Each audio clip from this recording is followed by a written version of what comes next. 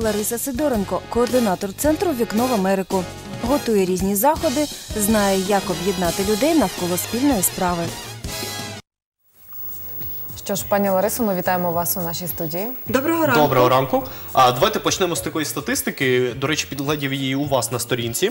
А, ось така от інформація. За результатами всеукраїнського дослідження під назвою Ставлення населення до засобів масової інформації у 2018 році, яке провела соціологічна компанія InMind, лише 28% українців критично оцінюють інформацію у засобах масової інформації.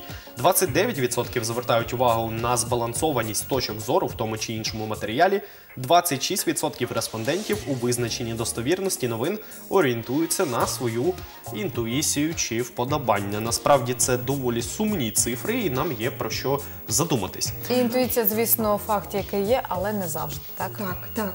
А медіаграмотність. Ми знаємо, що медіаграмотність так чи інакше е, люди так все ж таки більш-менш знайомі з цим поняттям, але є така категорія населення, е, які трошки ну не встигають так за новими тенденціями. І А, ця інформація просто пройшла повз них, але а ми знаємо, що ви пройшли Або вони спеціальний просто в ній тренінг і розібралися хочете так само провести тренінги, заняття, курси у нас в Миколаєві. Е, Так, ми з колегами були е, нещодавно на тренінгу у Вінниці, який був е, організований громадською організацією Центр Поділля Соціум. Е, І вони реалізують проект е, Медіаграмотність для людей поважного віку. І якраз це був тренінг для тренерів, е, де нас професійні коучі навчали. Як відрізняти факти від думок, як розви... можна розвинути теж критичне мислення, як е, е, співставляти факти, як е, ми говорили про власників медіа, тому що від них залежить дуже багато політика того чи іншого інформаційного джерела. І за підсумками цього тренінгу ми провели вже інтерв'ю інтерв'ювання людей поважного віку. Це було 20 людей, е, чоловіки та жінки. е, І був розроблений сп- спеціальний опитувальник. І е, ми надіслали ці Анкети вже заповнені до наших організаторів, і нас чекає наступний етап. Уже через тиждень у нас перший тренінг з медіаграмотності для людей поважного віку. 23-го вже буде е, засідання фокус-групи. Ми очікуємо на матеріали інформаційні від організаторів. І ще також буде два тренінга. А потім, вже на початку наступного року, десь січень, початок лютого, ми поїдемо знову в Вінницю для того, щоб обговорити Звітувати, так? звітувати і результати. Так. Забігли ми навіть вже і за новий рік, але хотілося побільше дізнатися про тренінги, які будуть відбуватися в Миколаєві.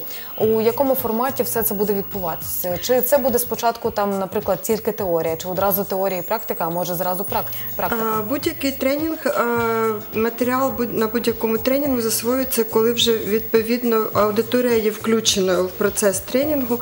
Тому ми з колегами розробили програму з таким розрахунком, щоб аудиторія була максимально задіяна. Наприклад, якась ми їм викладаємо теорію, буквально трішечки, потім даємо ту чи іншу інтерактивну вправу, е, Щоб підкріпити знання, підкріпити знання, так і е, щоб вони потім вже самі проаналізували. Це будуть роботи в групах, е, як правило, але е, з, з врахуванням вікових категорій, тому що люди е, поважного віку вони е, потребують особливого ставлення, особливого відношення, е, тому ми це все враховуємо. А на яку категорію так людей, е, ну я розумію, так про вік тут зрозуміло.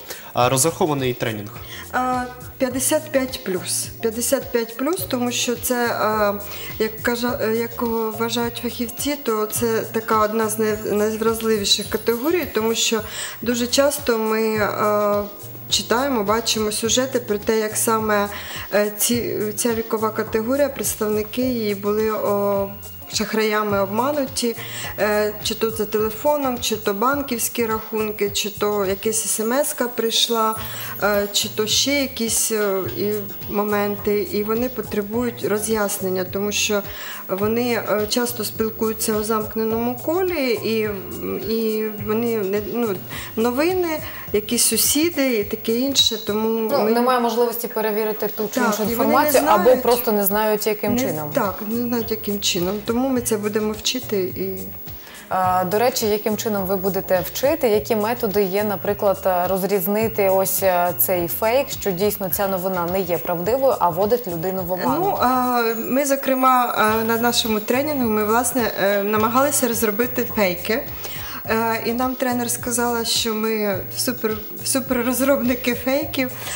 То, так, як розрізнити? По-перше, треба перевірити, де, е, де джерело, де це було опубліковано, е, та чи інша інформація автора обов'язково е, не просто ім'я та прізвище, а й посада, чи дійсно таке, така людина є.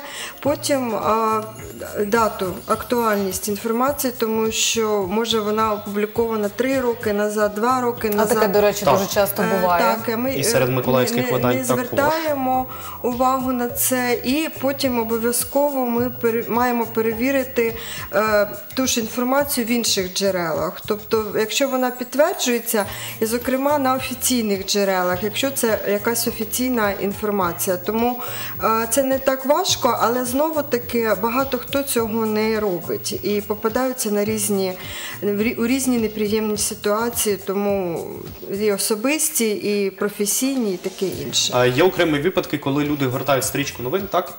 І орієнтуються виключно за заголовками. Тобто людина прочитала заголовок, не відкрила статтю і робить І собі зробила навколо якийсь цього висновок. висновок. Заголовки це наше все. Заголовки це наше все. Е, Ми коли проводили тренінги з іншого проекту по медіаграмотності, то проводи- приводили в приклад, випадають оці стрічки, там Алла Пугачова там. Тето, там Філіп Кіркоров, тето, е, Ірина Білик, там ще щось з нею сталося. Тобто це все е, робиться для того, щоб привернути увагу, тому що це все йде кліки, це все йде звертання Ми аудиторії, рейти- рейтинги. такими. Так, так, так. І тому Жовтушники, інакше кажучи. Звичайно, так? так. А чи будете ви приділяти цьому аспекту увагу на тренінгу? обов'язково, обов'язково, тому що ми навіть е, е, окремий у нас є пункт фейки, як розрізняти фейки, як роз, як розвинути критичне мислення, е, тому що це дуже важливо, особливо зараз, коли, як ви вже зазначили, що дуже багато фейків, і, зокрема, е, є ще одна така статистика, що кожна п'ята е, новина в українському інтернеті є фейковою. Тобто це, це, це просто. До речі, цікавий ваш досвід. Чи потрапляли ви на такі фейки? А, Я потрапляла на такі фейки, але це були особисті якісь ситуації, коли з мене люди, е, певні люди хотіли. Покапкувати? По, по, не то, що покепкувати, вони хотіли з мене отримати е, якусь певну матеріальну нагороду, і, але Чи звич- вдалося їм, чи ви їх розкусили? я їх розкусила і не під не піддалася на їхні провокації, тому що е, ну тому що я е, почала нам задавати питання, їм це не сподобалося, і відповідно я їх заблокувала в соціальних мережах, і тобто на цьому наше спілкування закінчилося. До речі, один з чудових методів, коли спілкуєшся з людиною, ставити їй незручні запитання. Так, так. Це, це, це е, тоді вже людина, е, той, хто спілкується, вона намагається якось викручуватися або прямо. Тобто ми вже по відповіді можемо з'ясувати, чи так це, чи ні. А у нас залишається не так багато часу. Ми все про тренінг та по тренінг. Ага. А розкажіть, будь ласка, чи є ще можливість і нагода потрапити на нього? Е, Так, е, будь ласка, всіх, е, всі, хто хочуть, мешканці Миколаєва, ми м, запрошуємо зателефонувати за телефоном 37 34 92. Це центр міжнародного партнерства нашої бібліотеки, е, Миколаївської обласної універсальної наукової бібліотеки. І е, до кінця тижня е, ми можемо вас записати на такий тренінг. Або просто прийти і ще- записатися. так, або можна прийти записатися, але хто не встигне вже через тиждень, то ще такі будуть тренінги у листопаді, в грудні. І потрібно, ми запрошуємо слідкувати за анонсами на нашій сторінці Facebook і сайтом бібліотеки. Так, дякуємо вам за інформацію. Тож, друзі, ну давайте вже будемо грамотними, медіаграмотними. Так, медіаграмотними у тому числі. А, пані Ларисо, дякуємо вам за візит, бажаємо вам вам. успіхів і повної зали.